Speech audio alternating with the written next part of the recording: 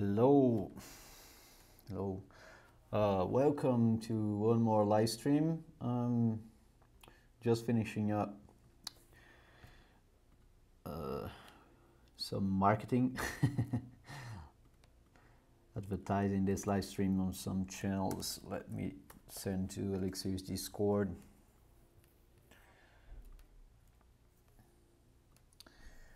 Uh, right.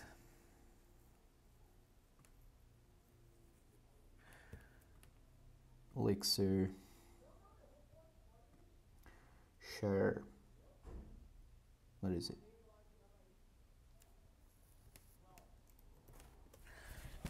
And so all right let me share my screen then. Cool. So as for today we're gonna continue the work we've been doing and the past couple live streams. Actually, the last one to be uh, really precise. Uh, we are doing this MVP project here on Koins, which is this asset manager tool uh, for financial assets.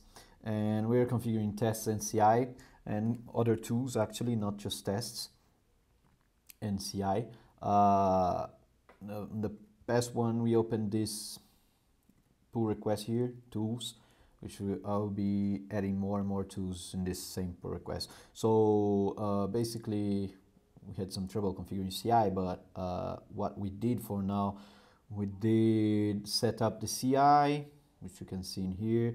We did uh, set Elixir version to 1.11 because one of the tools that we are using which is where is it? Muzak, this one. Oh, Exavier is here. Let me do remove that then. Um, mix deps dot unlock Exavier. Uh, both Exavier and unlocking Exavier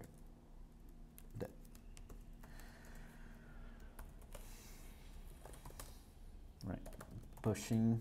I'm not sure why I'm using the notebook keyboard. So Exavier, which is not here anymore on Mixlock, and Muzak are mutation testing tools and uh, uh, Muzak worked a little bit better, but only with Elixir 1.11. That's why we kind of downgraded our version to 1.11 instead of 1.12. Um, we did some testing and removed some some code that's actually not never used on the project because it got generated by Mix Phoenix New, but we're not using because we are using live views instead of dead views. So we don't need controllers and the router. We actually just moved it to the the, the, this code here to the plain router. And the channel we're not we don't have any channel yet so only the live view uh, socket is initiated. So yeah um, for today I'm planning to add Credo and Dialyzer to the CI uh, but I do want to check one thing here uh, because I did create two workflows, but it looks like only one workflow is running. Like the tools workflow here is running, the the which is the the pull request workflow, right? There are some annotations.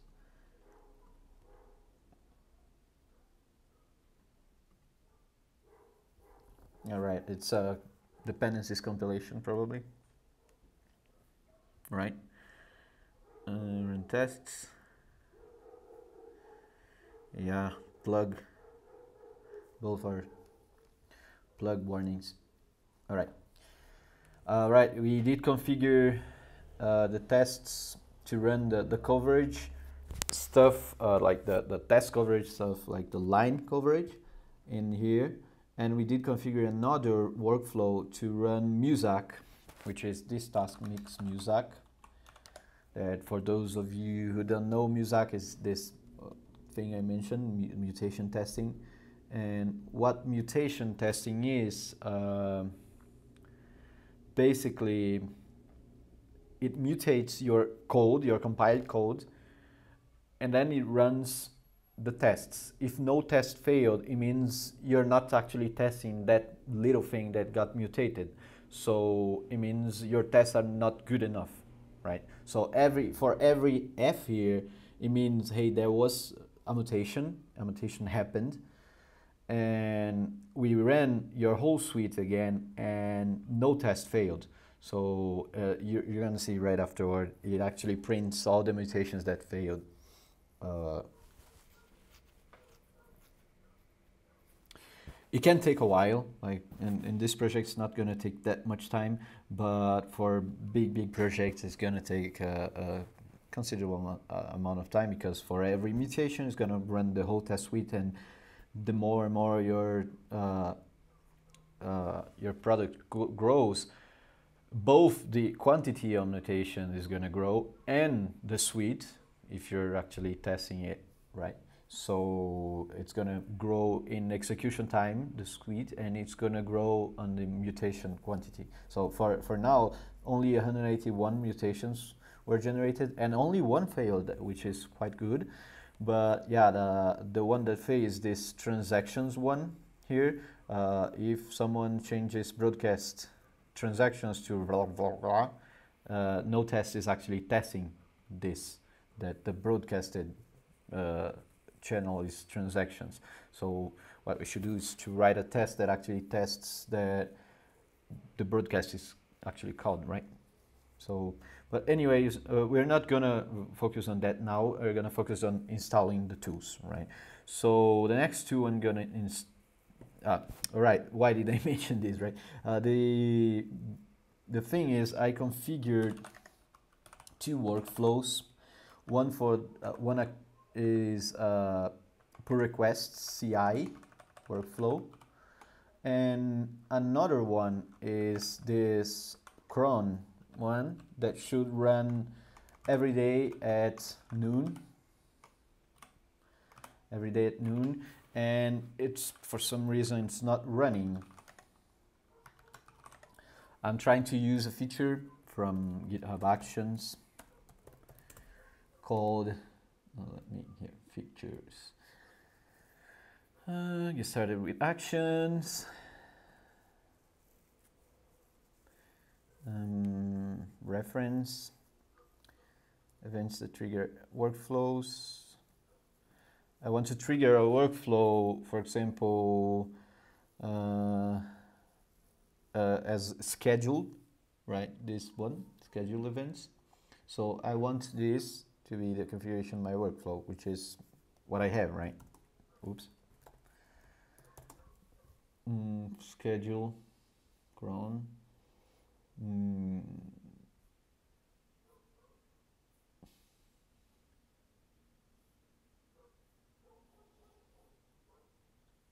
Or, actually, maybe maybe even better, instead of, because right now I do have uh, PR, pull request CI, right? Mm, yeah, let's rename to pull request. So what I'm going to do is instead of uh, dispatching this on pull request or push to master, I'm going to dispatch it only on pull requests and then dispatch this on push to master.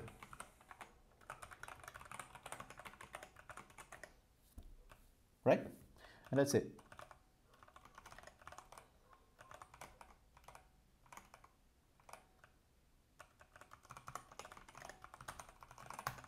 call it test because that's what it is. Yeah. So then when I merge the pull request, oh, actually no. Maybe it's not going to be considered push to master. Never mind. yeah, uh, I want to still execute this on a scheduled basis, like at least once a day, and it's not actually working, and I'm not sure why. Why it's not triggering, right? Like select workflow, uh, there's only the pull request CI workflow. I'm gonna configure a new workflow and uh, set up a workflow yourself, CI, and where is this going to be saved? Like main YAML in master. Oh, that's why it actually didn't get executed because it's not a master yet.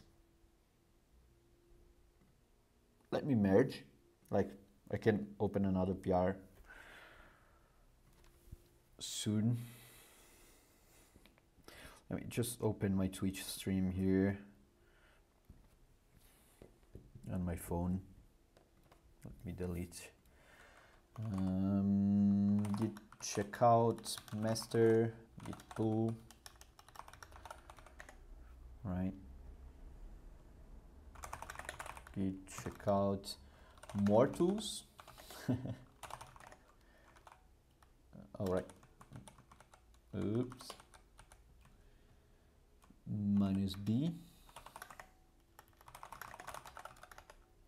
Origin. More tools.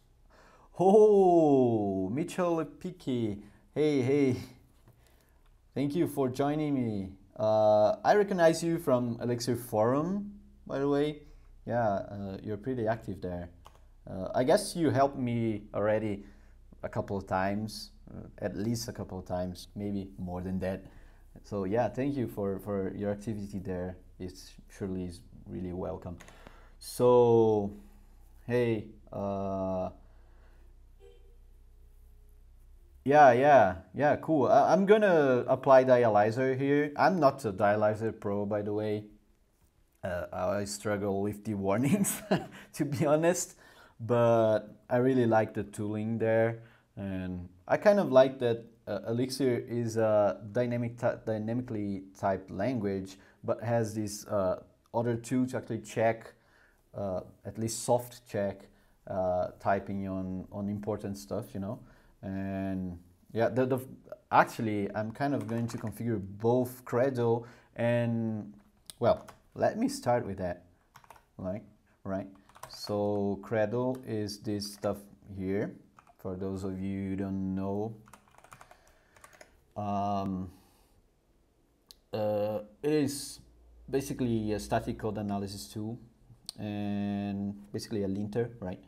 So it shows you a lot of warnings for your code and uh, it's pretty easily installed like this. Just add it to your mix exs file. I was almost getting lost at Muzak stuff there thankfully I, I got it done. Uh, so, and then you mix deps get and run mix credo, it should be uh, warning me of some stuff probably. Maybe not, because this this project is brand new. I have uh, just two or three scaffolding stuff, and I did remove some code too. So maybe there is some stuff that it's gonna suggest but uh, all right.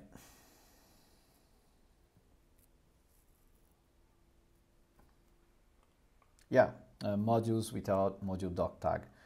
So, but also, like th there's a lot there. But also, what I do normally is to mix help Credo. Let me check. Uh, ah, actually, mix Credo help. Yeah. So what I'm going to do is to gen config, generate the config file for Credo, right? It's gonna be generated at my root. So this config file, it has uh, a lot of uh, the all the checks that get run by default, they are configured here, but there are some here with false, right? That I really like them. Uh, uh, actually most of them I turn true. So what I'm going to do is to uh, first turn true for specs. Like this one uh, this check here uh, if I'm not mistaken it's gonna check all your public functions.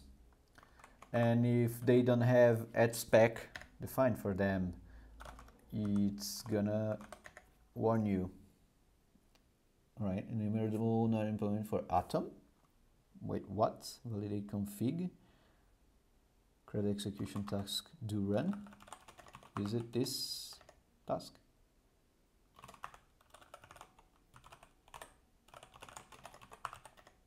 Is Credo not working?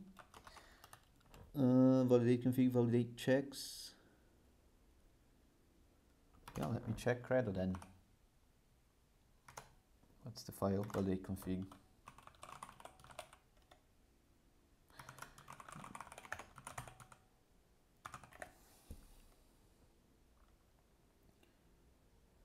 one if check missing, one if check params invalid. Oh, there's this configuration here is not, ah, right. I should, it's written in here, right? I should change false to uh, empty list instead of true. Come on, Kelvin. All right, so as you can see, I got 12 code readability issues before, but right now I get 49 code readability issues because uh, I generated a lot of a lot of stuff, and uh, this stuff none of them have the add spec specification, right? Uh, so yeah, that's that's basically uh, it. The the Credo configuration is done. And I would like to actually fix all of them, but 49, that's a lot. Uh, also, what I do here is strict. I do like to be very strict with my code. yeah, I'm, I'm a little bit, I do have a little bit of OCD. So yeah, uh, the strict flag there, what's gonna say is uh, like every issue is important. So if there's any, uh, it doesn't matter the the importance, uh, like how, how's the name, the level of uh, of the the actual check. Because you can configure uh, configure the level of the check for for example uh, the priority. Here priority. So if you configure priority high low if you, the strict option is there uh, it's only gonna print for a certain amount of priority up, but strict is going to print all of them. So I do want to print all of them. Mm, software design suggestions. Uh, let me check. Nested modules could be aliased. Oh, on data case and con case. Um, all right, the sandbox here. Yeah.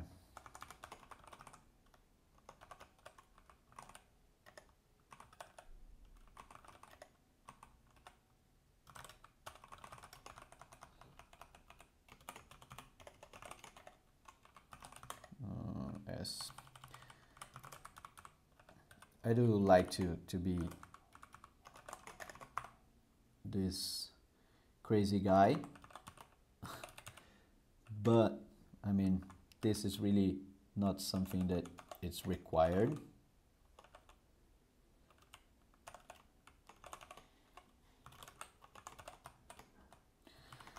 Uh, to, to be done right? You could repeat yourself like this but yeah, I think aliases do serve really well in these cases. And yeah, done. The, the, the four software design suggestions should be done, right? So yeah, a little bit of Credo for you, adding Credo. Um, and what I'm going to do next is to add Credo to the CI, actually workflows PR. So what I'm going to do is to run Credo. So this is gonna run Credo using the configurations I have there, which are the strict ones, which is gonna make my my my build fail. And yeah I, am gonna make it pass after I, I configure the other tooling but yeah. Running Credo on CI let's push this code and let's open a pull request called more tools right? And this is probably going to dispatch the check and the check is going to fail because of what I, I said to you uh, anyway uh, well another thing I normally configure is the formatter. Check formatted. So the formatter has this mix format 2 right? If I run it it's gonna format my my code. As you can see there are two lines here and that got changed. And I'm gonna check out it just so you know like mix format check formatted dry run. This one is gonna say hey you don't have other code formatted so this is what I'm going to run on my CI to make sure I didn't forget to oops uh, here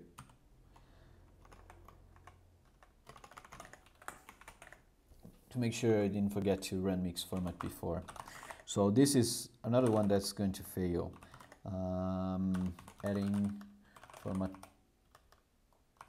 check to CI. All right, so next one will be to add dialyzer.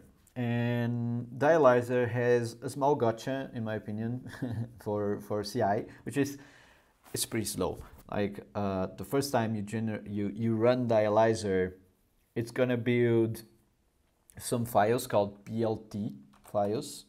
Uh, and yeah, I'm gonna search here. I know there there is a very nice uh, post somewhere uh, about running dialyzer, mix dialyzer. Is it like this or I'm actually no? Yeah, I spelled it wrong. Dialyzer. Wait, why here? Thanks, Mitchell Picky, for putting it there. So mix dialyzer on CI. Um, there's this tool, Dialyxir. It's just uh, what I'm going to be installing to actually run Dialyzer on my Elixir code. But um, poor man's solution? No, I don't want on GitHub CI.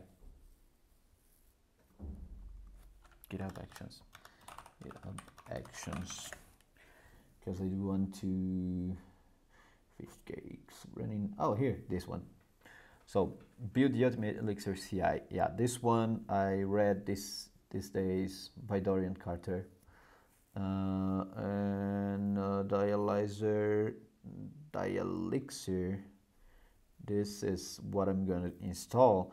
But um, all right, for environment variables. Um, not gonna actually check this for now using matrix. I'm not gonna setting up mixed dependency cache. Retrieve mixed dependency cache. All right, this one is important because I don't want to uh, every time uh, be downloading all the, the mixed dependencies, right? Uh, but if I'm not mistaken, the yeah, the default one already uses it. Uh, like there is already a cache here, right?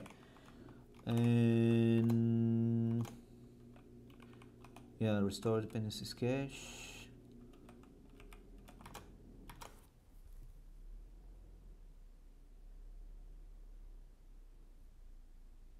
yeah all right So next one we install mixed dependencies. It's going to install dependencies right after.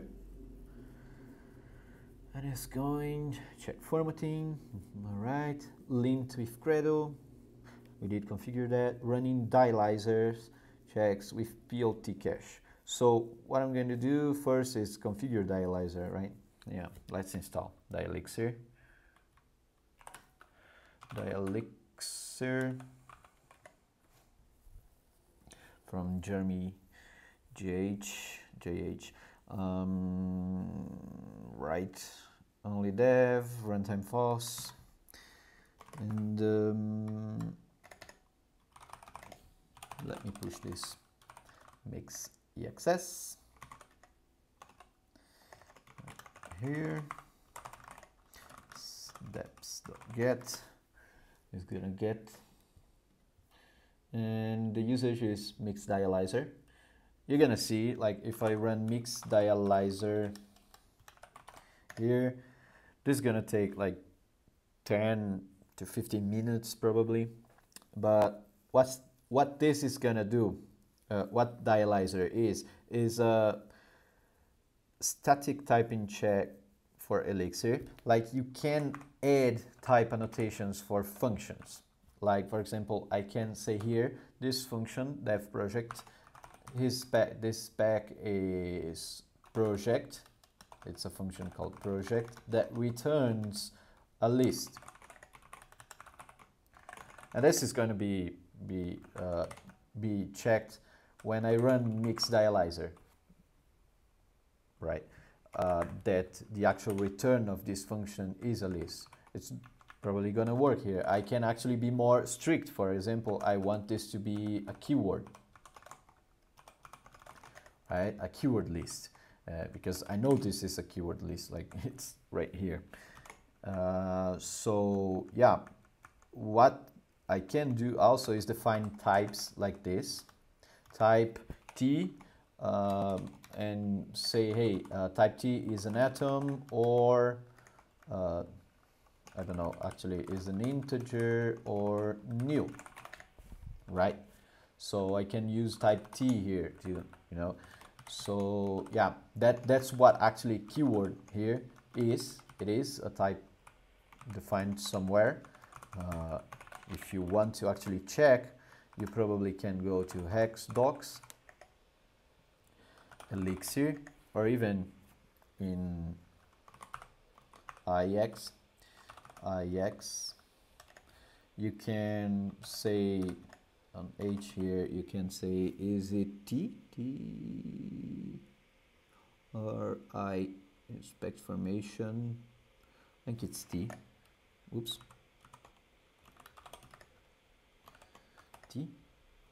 Uh, keyword?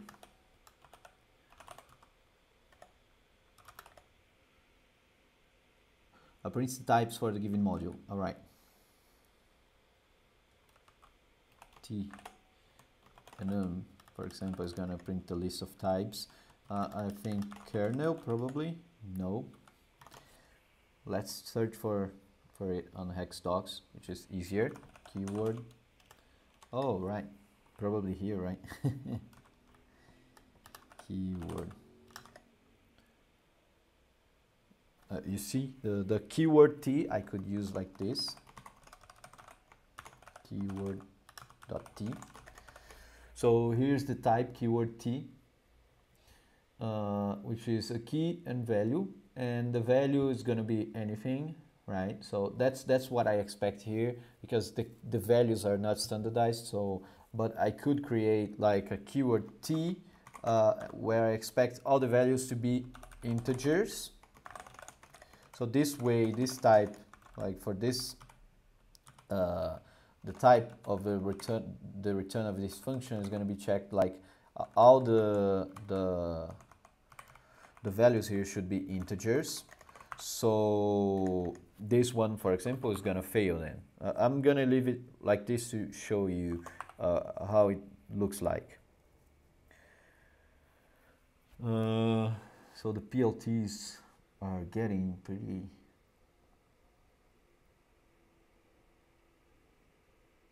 All right, adding 170 modules to Elixir Erlang. So the, the why it takes so much time, uh, the PLTs, uh, I don't remember well what a PLT means. Like, uh, I think T stands for table or something like that. but the other was persist, persistent lookup table. So these are the files that save basically uh, a table of, of the types that uh, is are going to be used to, to check against your code, your actual code. Uh, but it takes a lot of time to actually build these tables. But the first time it's, it's built is saved to these files so that it's cached, right? And it, uh, it builds like one of these files for Erlang, one of these files for Elixir,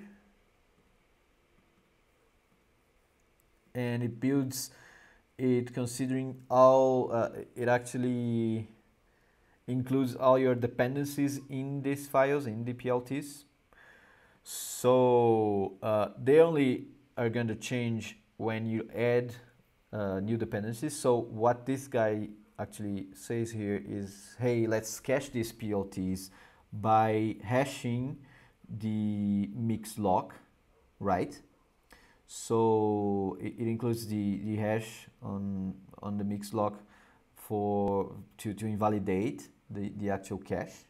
So that's probably the same that's done on here on the deps, right? Yeah, here. So uh, what I'm gonna do for for the the dialyzer cache is pretty much the same that's been done been done here and yeah. halt exit status. All right not sure what, what are those two options here?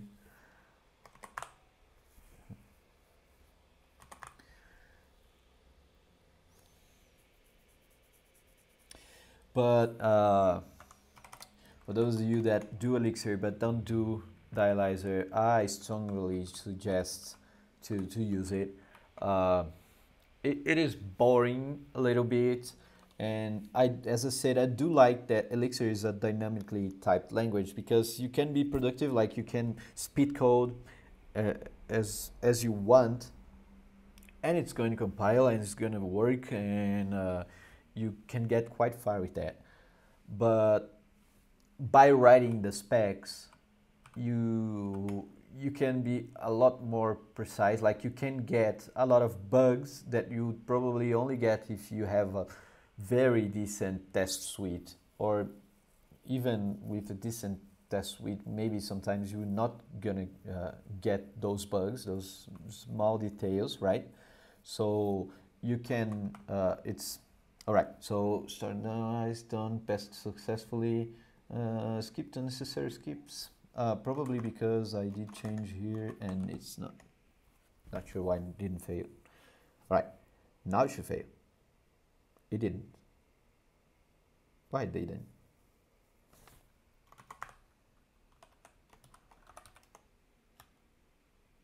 Is it integer?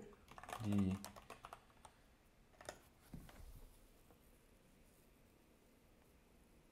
or is it not checking? Oh, it's not checking mix.exs probably.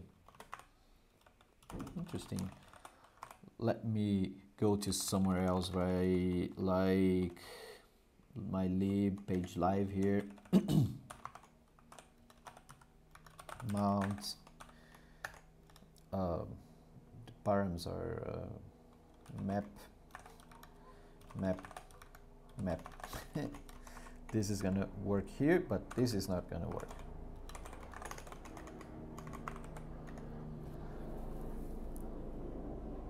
I should fail, right? It did fail. Uh, so uh, it's a bit hard to read. I agree. Uh, like the, the, the, the spec return type does not match the expected return time for mount callback, right? Behavior. So on, uh, I'm, I'm implementing uh, mount callback behavior and uh, it, it's marked as the implementation of that here, right? but the, the spec didn't match. So that's probably not a good example. Let me go to a context. Oh, how's the name? Brokerage. All right, here now finally, add spec list transactions, uh, a list and probably actually a keyword. And the return is gonna be nil. and yeah, you can check actual values. That that's really a nice thing because you can say, hey, the return should be okay and nil or error and then you put the reasons that you actually expect to fail like uh, reason one or reason two you know that's probably gonna fail too that dialyzer. As you see the the next passes are pretty straightforward.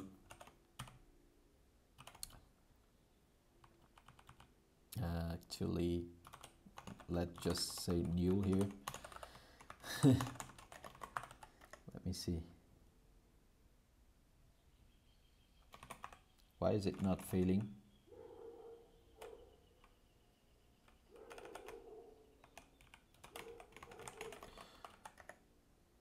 As I say I'm not a dialyzer expert. Mix compile.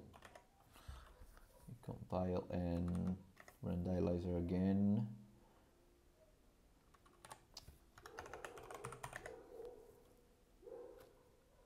that's quite annoying.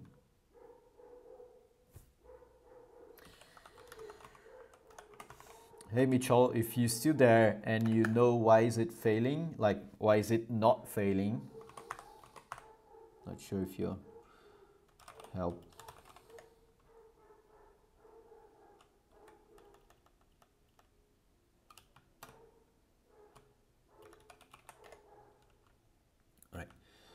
so what are the options? No compile no check force check. Force check.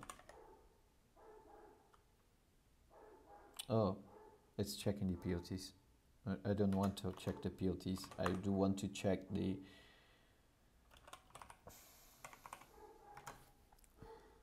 how to exit status. No check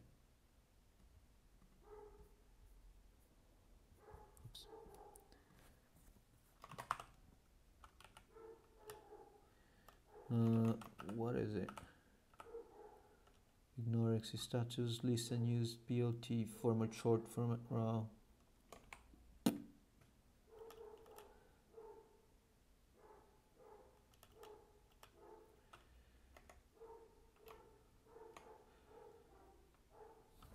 all right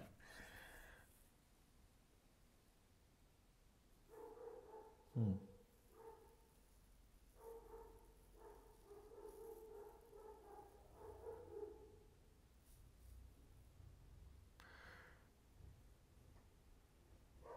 PLT is up to date.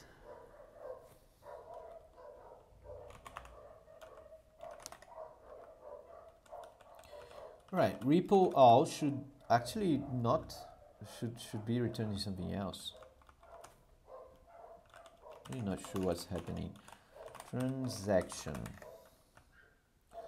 Let's make sure this one, for example, change set map map and the return nil. This one should fail definitely. Yeah finally I got something to fail. Not sure why that one didn't fail though because repo all doesn't return new or would it? No it always return a, a, a list. Hmm I have to investigate there that. Uh, so yeah, here, uh, the spec for the function does not match with the success type of a function, right? So the function is not returning what is defined on the spec. So that's the magic. Like basically the success typing of the function change set would be this. This is what actually is expected to be given as parameters and this is expected to what is going to be returned. So we know here it's a ecto change set struct, right? And I do happen to know that ecto change set has a type called ecto change set.t. Uh, it's pretty normal on, on libraries that they're gonna implement this t type for structs, right? So in here, it's also probably I would want to create a t, a type t, that's a transaction, right? And some people do even do like something like, yeah, a transaction, the date of the transaction, the type expected here is date.t and uh, it shouldn't be new, right?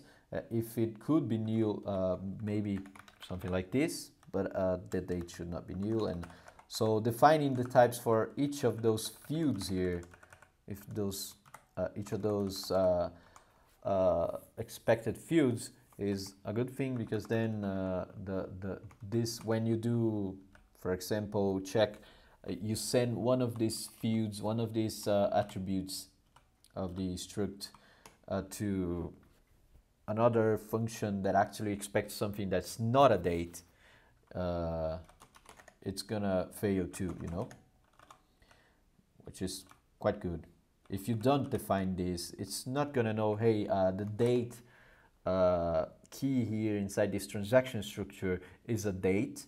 It's gonna consider, hey, it can be anything.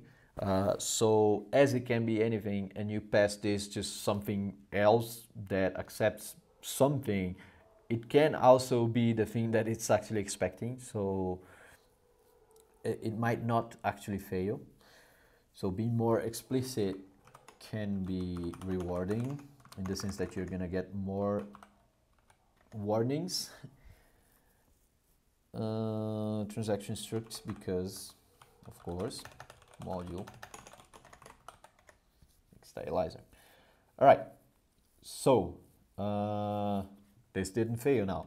Uh, but what if it, I for example expect it to be uh, t here because it, it should be it should be uh, t but I do change this one to integer. Let's see. It should fail yeah because the spec function does not match the success typing. The success typing is uh, the the first part of the parameter is this but the second part should be invalid is it valid? or struct known atom binary. So, uh, all right, uh, where is this coming from, right? Just so you know. Uh, basically, this is coming from uh, where you're actually using this parameter, all right?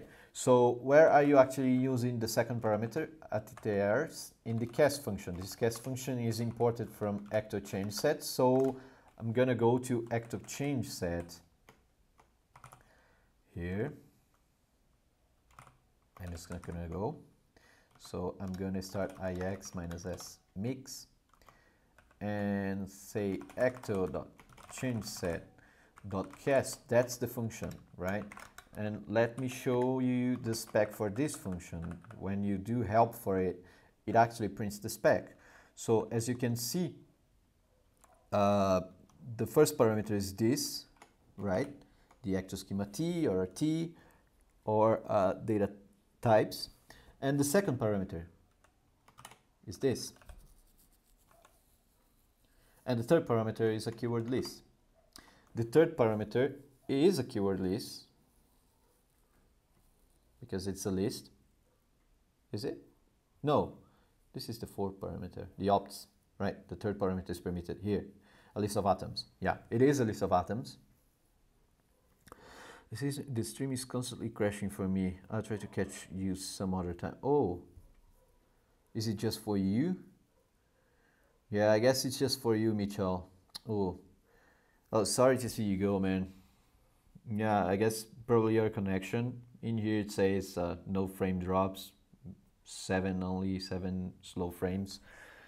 Uh, yeah, uh, but anyways, thank you for for watching for a little while, and yeah, uh, it's really nice to to get some known people here, like some people that I at least heard the name before, and yeah, keep keep up with the good work. Uh, you definitely helped me a lot of times, and I'm sure other people would also thank you. so yeah, see you.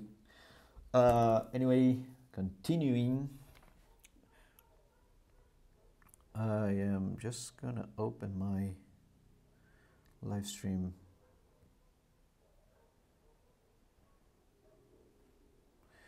my phone so I can see how many of you are out there because I can't actually see yeah two viewers. It's right.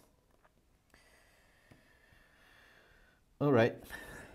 So yeah anyway uh, so as you as I was talking uh, the second parameter here this part of the check the invalid part of the check if you actually see this if you actually check this is this part right?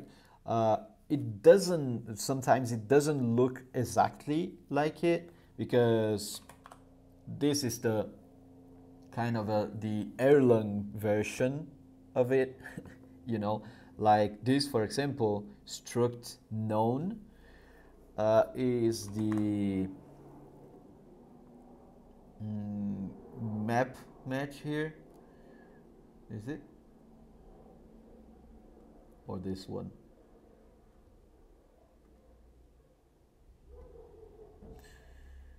right? Some uh, there, there are some crazy translations, but yeah, that the, the first thing uh, when you get a warning on Dialyzer, uh, the first thing you should you should check is like first ignore the warning and go to the spec, check the spec, and check the functions that are called uh, using the parameters and like if what actually doesn't match is the return. Uh, the, the, as you saw, the warning is the same if what uh, it doesn't actually say what of this doesn't match. But anyway, in here, the attributes, I know I expect a map to, uh, to be given here, right? And and a map would match with one of these. One of these stuff. So if I give a map here it's not gonna fail.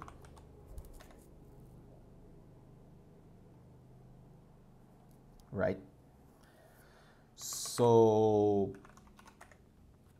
but if I, if someone calls the, the change set for example let's go to the brokerage and check the change set like transaction change set.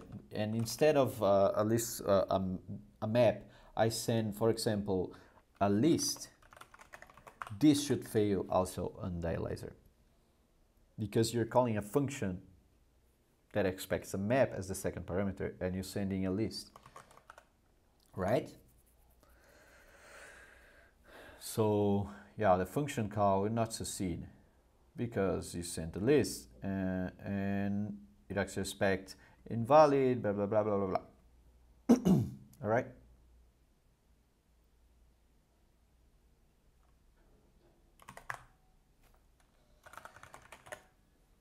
What if I send invalid? Now it's time for some exploration. It didn't. It didn't succeed because it breaks the contract. The contract that I did uh, ex uh, explicitly put there. But if I say, hey, he also expects invalid. For example, it done. Uh, so, but I don't, I don't expect it to be invalid. What expects it to be invalid is cast, but I can actually make a, a stricter uh, function here because this typing here is a subset of the types that this accepts, right? So it's gonna match.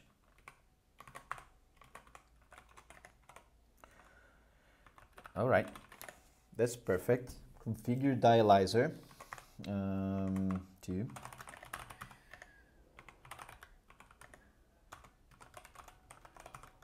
dialyzer. So next step is to add dialyzer to CI. And then mix, uh, blah, blah, blah, right, first uh, I want to configure here uh, on mix EXS the way that Dorian actually put there. Mix EXS.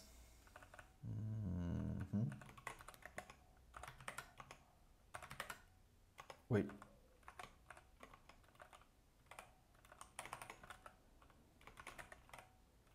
What?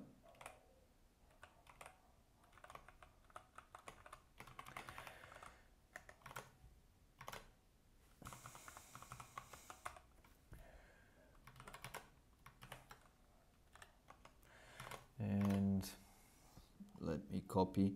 So what he's configuring here is the place that the dialyzer PLTs are going to be placed basically. Mm -hmm. so it's going to be placed on pre PLTs what I'm going to do also is to move actually Never mind. Yeah, never mind. Let's run dialyzer again. It's gonna build a new PLT, which is gonna take the same amount of... All right. mkdir priv PLTs. And I'm gonna touch a priv PLTs keep. Um, changing PLT's directory. But uh, now I'm gonna to add a git ignore to that directory. Because I don't want to commit it.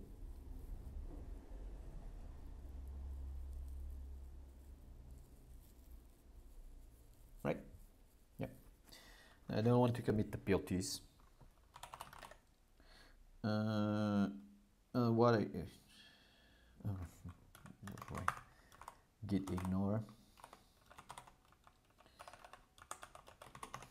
PLTs. As I did already commit, it's not going. Uh, ignoring PLT files. Actually,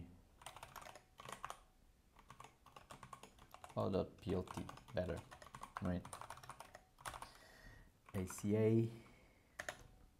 That's a add commit amend. That's what ACA stands for. AC add commit. but I have I have a lot of uh, aliases. So this is then what I put on my CI config, CI workflow, workflow PR and I'm gonna run although it's slow it's not gonna be slow every time. That's why I'm putting it on my GitHub uh, the, the PRCI so I'm putting it after installing dependencies run credo. Uh, so it's running dialyzer. Uh, probably after credo yeah retrieve PLT cache. I'm gonna use cache v2 because it's a new version. I don't need the ID. Uh, the path is priv PLTs, the one that I created now, and I'm going to use the same uh, dialyzer. Uh, another key is ju just to make it different from the deps and restore keys. Lizer right. Uh, so retrieve uh, restore.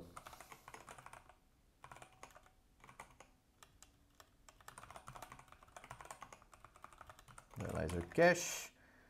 Um, create PLTs yeah PLTs let's call it PLTs there's no point of actually. And then run dialyzer without the PLTs I don't need to mcd mkdir here because I did commit that. Uh, set PLT, PLT cache outputs cache hit oh it only creates the PLTs if there isn't a cache hit if there is a cache hit from here it's gonna skip this this thing here. Okay.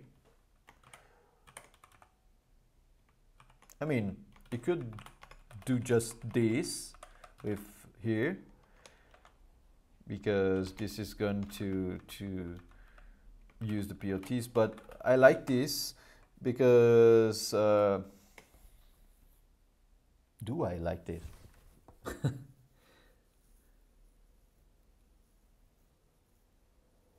the PLTs are not going to be generated neither checked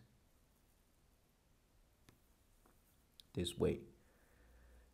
If the cache for some reason reason is not invalidated correctly I'm not gonna even I'm not even gonna check. Is there a way to actually just check and fail instead of check and generating because if you uh, the the when mix you run mix dialyzer with no no check option it's gonna check. And if the PLT is invalid it's gonna trigger a PLT creation right? So what I want to do is not to trigger PLT creation but actually fail if the PLT is invalid. If you get, get me but yeah, let's mix help dialyzer because then uh, we can actually check that.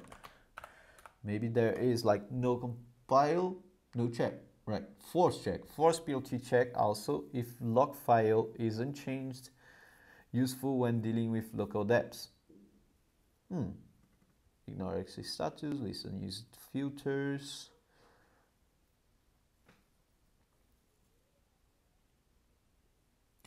PLT, only will the required PLT as an exit format. Hmm. All right, so the check is going to execute, as for this documentation, the check is only going to execute if the mix lock, if the lock file is changed.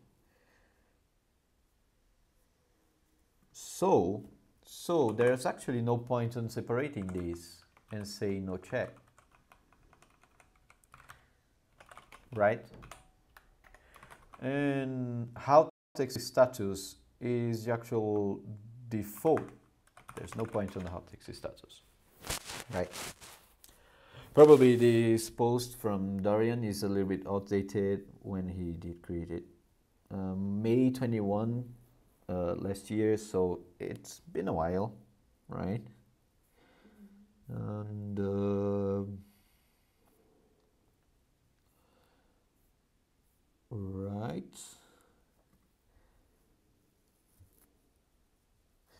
And yeah commit then.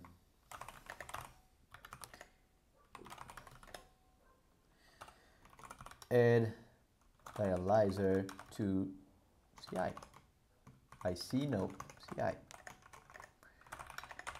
push. All right. So let's see what we've done so far on our PR.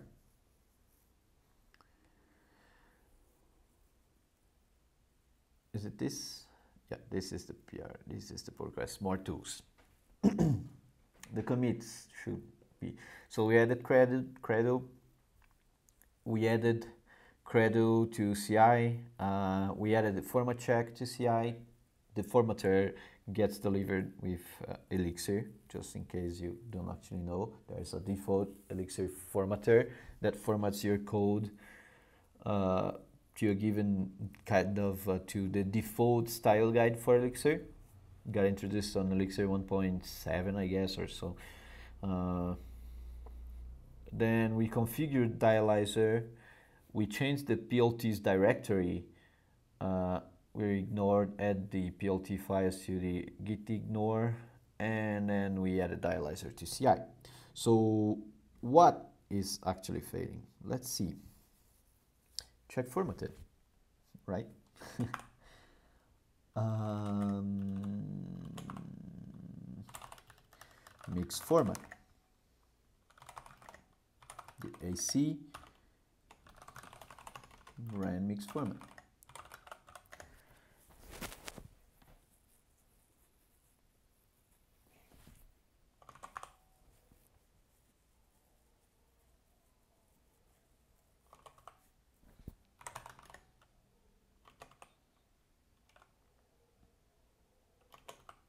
Did I push? Yeah, I did push.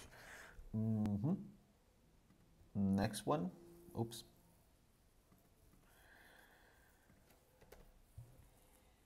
Mix format, running the checks.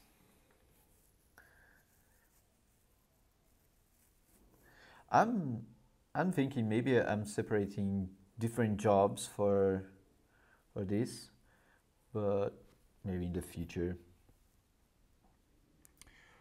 gonna run Credo.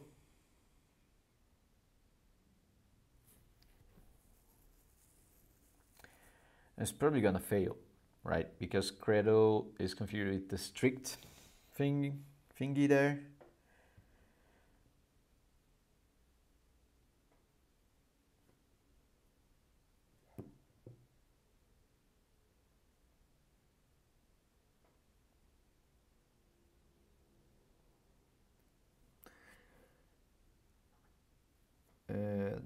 Yeah, anyway, I, I know it's going to fail because if I run mix credo here, it's, it's going to fail. Um, there are 48 code readability issues. Well, let's start by adding the module tags here, right? Why not? So telemetry, what I'm going to do is to run mix credo from here because then it's going to be sent to the quick fix. Module tag. Doc. Module doc yeah. Transaction. Live index. Uh, what I'm going to do is to add add module doc files to most stuff.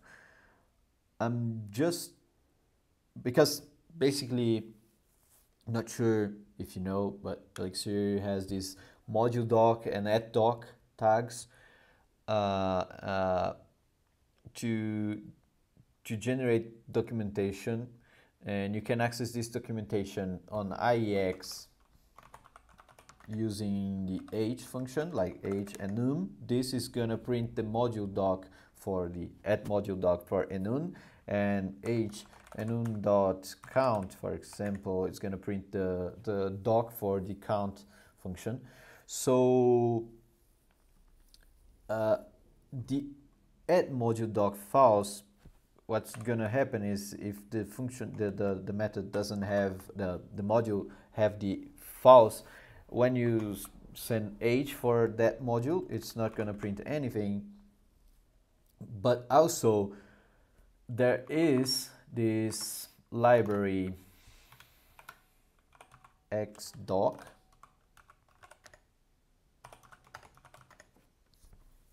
right?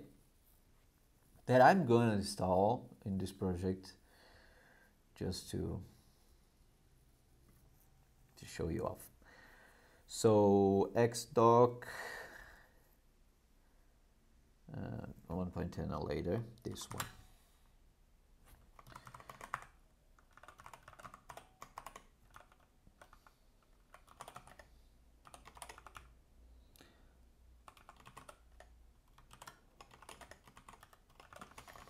mix when I run mix docs all right git mm, mix deps dot get. I run mix docs is it mix docs or mix doc mix docs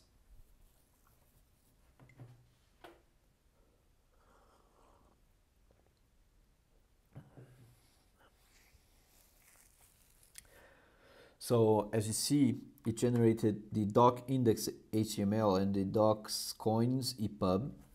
These are the HTML and EPUB formats of the documentation. The same ones that are posted automatically for all the the libraries that are posted for or uh, posted to Hex package manager. So if I open doc index, this is the API reference for my my thingy there. So if I go here, like for example, I don't want to show Koins repo documentation and, and the documentation.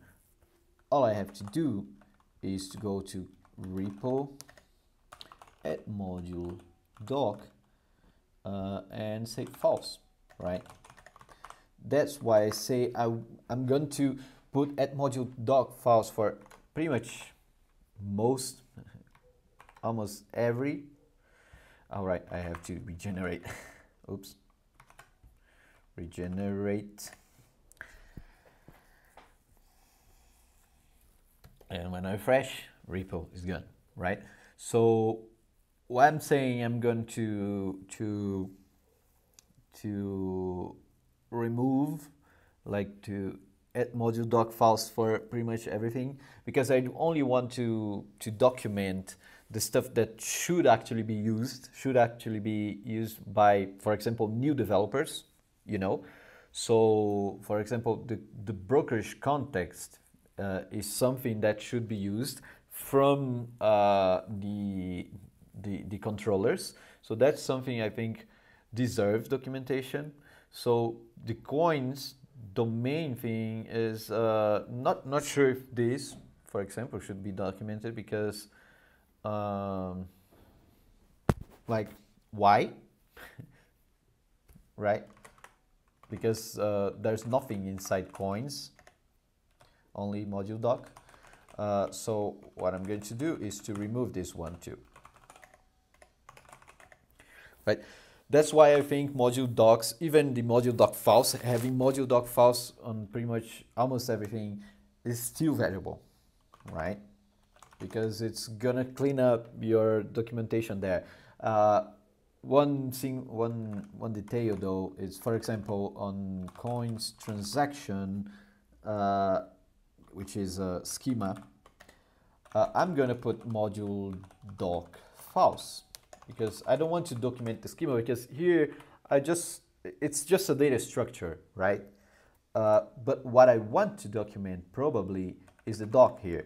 So what happens, for example, this generates a change set or builds a change set for uh, operations on top of sections.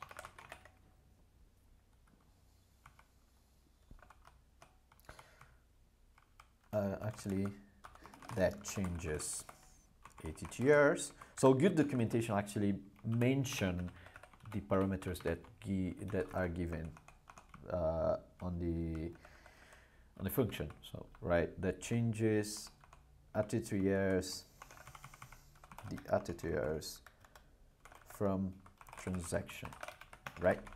This this is a good documentation, and also good documentation would say always return uh, active change set. And also is gonna give examples, for example. And the examples you can write, for example, like this, iex, like as if you were using an iex, and change set and then you send a transaction and a list of attributes like date um, to the, the 2020 10, 10 amount 10 cents actually $10 maybe this is not gonna pass but anyways. Uh, notes. It's not gonna send notes because it's not required and account ID one. I don't know. And it's gonna return. Uh, nect2 dot change set where changes have this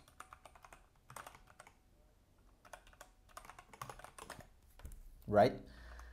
Uh, this this is an example of a good documentation because you have multiple like it mentions all the, the parameters that you give to to this. So uh, the, the person that's gonna use it actually knows what's uh, what's the the expected uh, behavior of the function, right? Uh, also mentions what is the return and if in this case it always returns the the same thing. But why why is it like why mentioning this if you already have this right? You should probably be questioning. Uh, because sometimes it's not always that it's going to return the same thing. Like for some let me see an example of um, h file dot write for example. I do know that file dot write it returns okay if it passed but error POSIX if it didn't.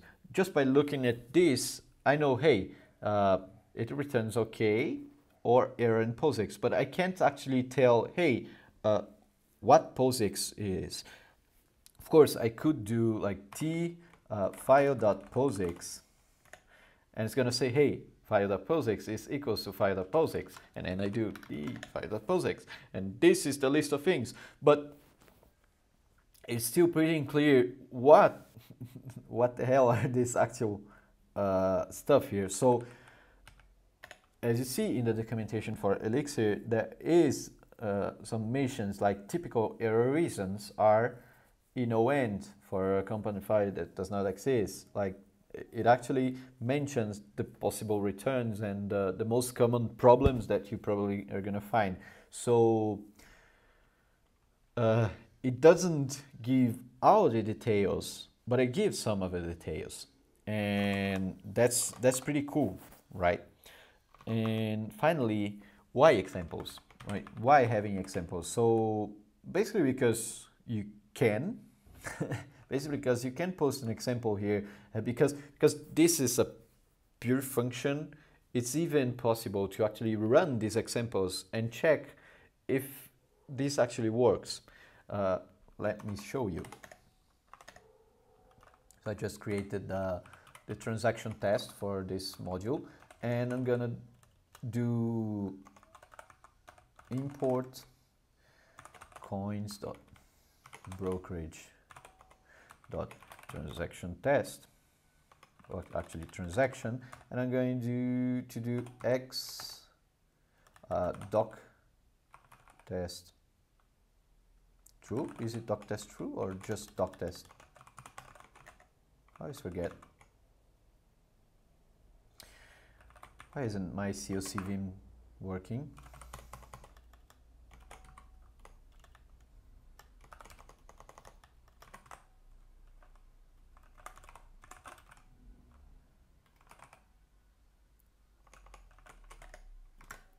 All right, let's search on hex docs. Uh, hex docs x unit doc tests and it expects two parameters. All right, the module and the ops. The ops can be accept only import blah. Ah, right. I can do this then.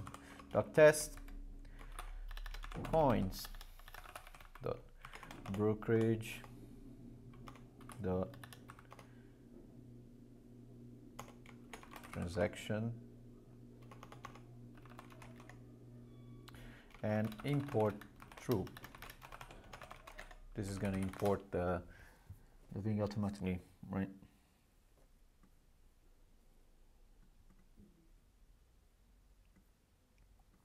This is not feasible when there is a clash with the module like kernel. In this case, this import should be set to false and full and a full module function construct should be used. Change set though is not that case. So actually I may actually build this because I do like to to be explicit.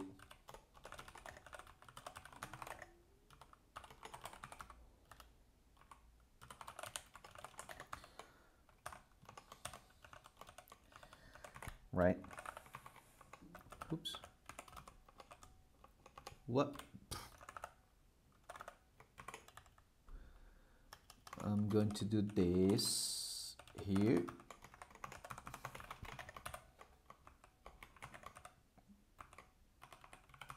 because then I can uh, use as just transaction here. And then if I run this test here, what it's to actually check is uh, it's to execute this function passing and it went well, like it's succeeded.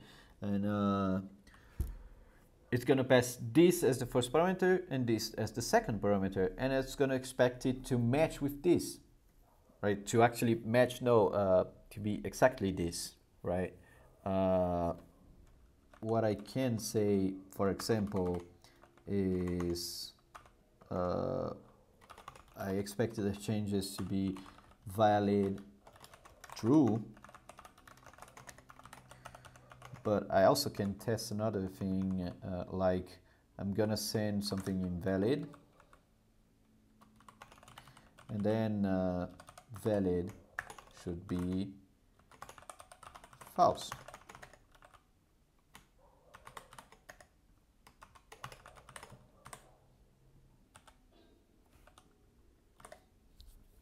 I'm gonna whoops can run the doc test and it failed. Because why? Because here's the doc test that failed. Transaction chain set, the empty list uh, is valid false.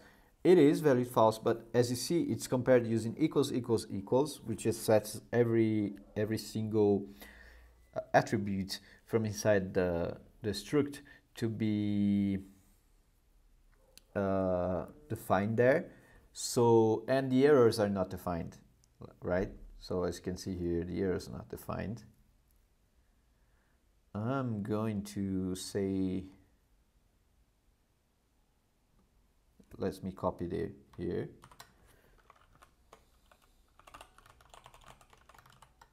Oops. Errors is a list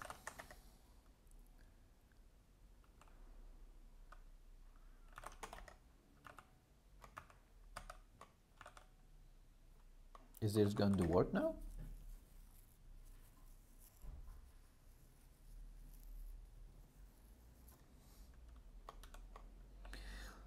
Uh, right, valid, valid false thing is here, but uh, data nil is the problem.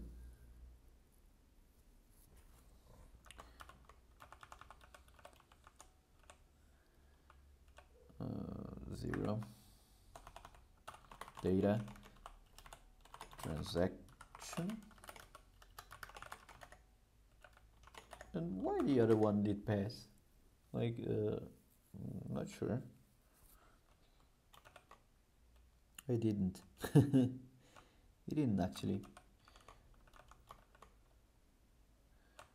New.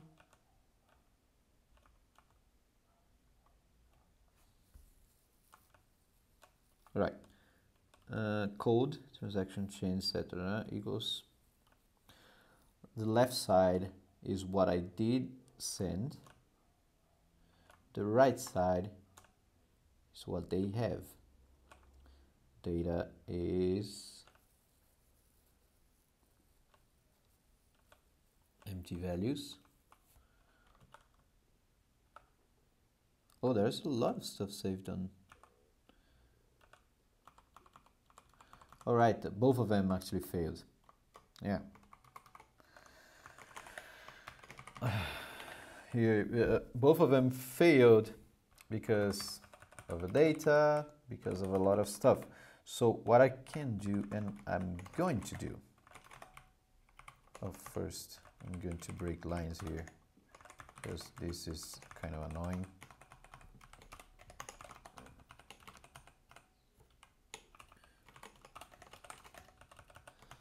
Oops.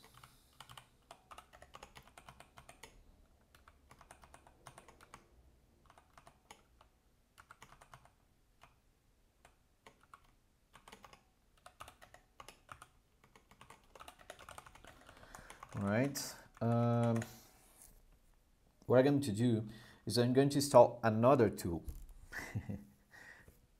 That's the next tool of the day, which is called Mix Test Watch from LPU. Uh, this one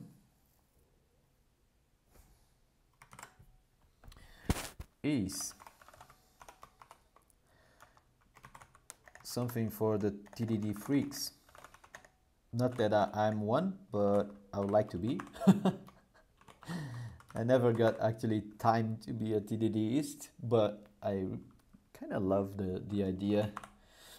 But yeah, mixed deps get. What this is, is uh, a task that you can run mix test watch. And it's gonna rerun it's going to rerun every test every time you actually you actually change something. Oh the the problem is money amount here. Uh, right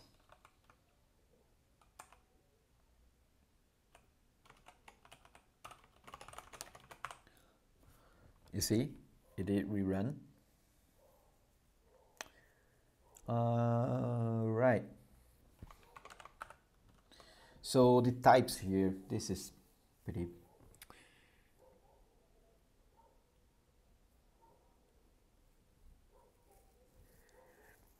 hmm. the types, the params, the required stuff I don't like to put that many stuff on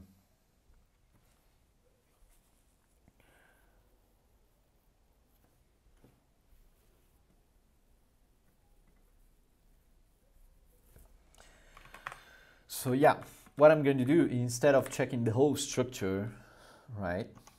I only want to check this too, basically. So I can do iex. So and change save this to a change set right? And then change set dot valid should return true. And change set dot changes should return this.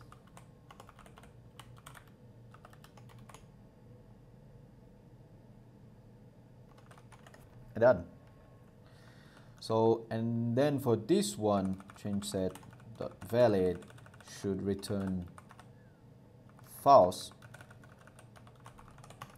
And change set dot errors should return this.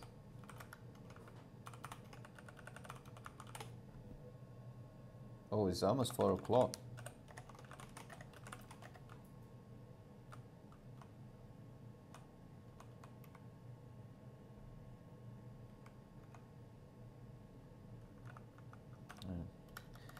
iex changes it changes equals, let me copy these changes here. So how, how it works with the different, like uh, every group here is a test, like is a doc test. Uh, like it's a different example, so it's a different test is going to be executed parallelly. So that's why we have two doc tests here.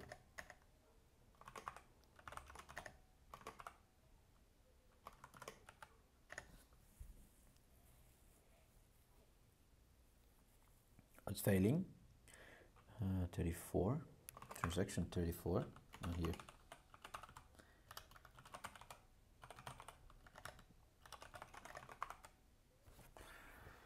I'm going to I think I do have do not disturb yeah. Alright so as you can see two doc tests. Uh, and this if I do regenerate for example uh, mixed docs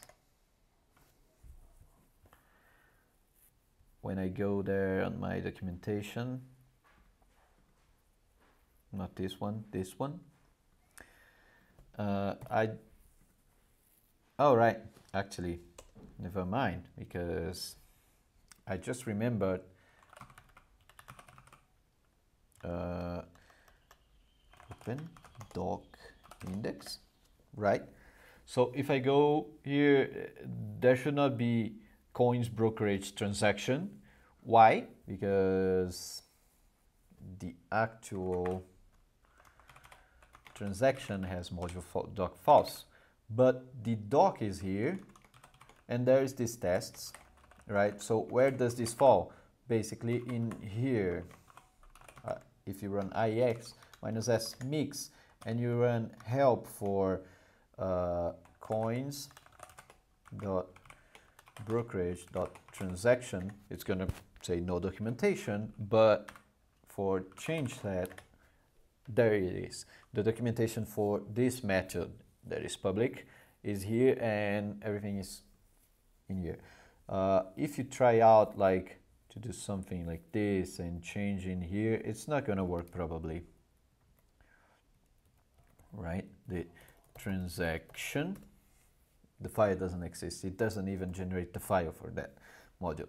Uh, some people say, hey, but uh, why do you want this documentation here but not there? Uh, I mean, it's always good to have the documentation even in, in the code. Like sometimes you're doing something and hey, what this functionality does, uh, like when when you're in another place like the brokerage and you say, hey, what does this transaction change set do, you just have to actually go to the definition of this file, which is not working. I'm going to do this, brokerage, change set,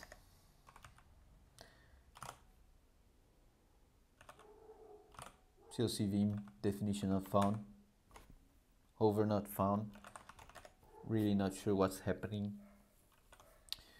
Sometimes COC just stops working for me. I don't know why. This is something related to the configurations I did. Anyway, you can go there on this, you know, the alias is here. This is the module. So if you go to the module definition, uh, you're gonna see, hey, oh, this is documentation for, for this function. And the, the, good, be, the good thing about the doc tests is, is that if you change uh, the way we, it works somehow, for example, hey, now notes uh, are notes is a required field, right? I changed the, the, the behavior of this function and this change of behavior actually makes my my doc test invalid, right? Because the changes here doesn't actually include a notes field and it's required now. So valid is not true, valid should be false. And indeed, if I go there and check, uh, here it says, yeah, that the valid false. Even the invalid one, the, the other actually failed too because uh, it the notes can't be blank thing is not in here, right? So yeah, this this is a reason to actually use doc tests, right? And uh, the kind of the documentation is a bonus. The the actual validation of the documentation like is something good per se, right? So, but um, notes is not required, and everything should go. All right, mix test dot watch. You can do stale in here. So if you change something, for example, let's change the transaction, it's only going to re-execute the, the, the ones that got affected by that. So it didn't execute all 32 tests, it did only 29. Uh, let me try, try out, for example, to page live HTML. I changed page live HTML. It's going to only say, hey, recompiled, no stale tests right? Because there, there's no test testing this actual file here. Right. Um,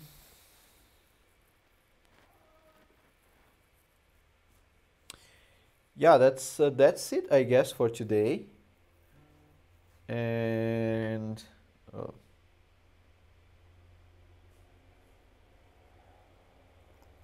all right. I guess uh, I'm just gonna publish this then and call it a day. Uh, I'm not sure even if I am going to publish it right now. And yeah, uh, let's see.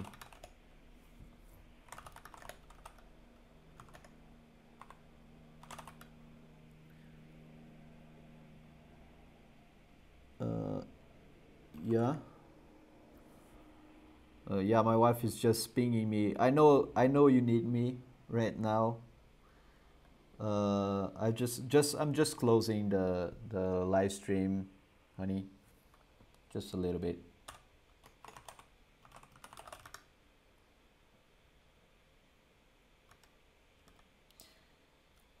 Of adding docs for trim set and some more tools. That's it. So yeah, everyone, thank you for watching uh, one more live stream and yeah, see you in the next one, which is probably going to be next Friday. See ya.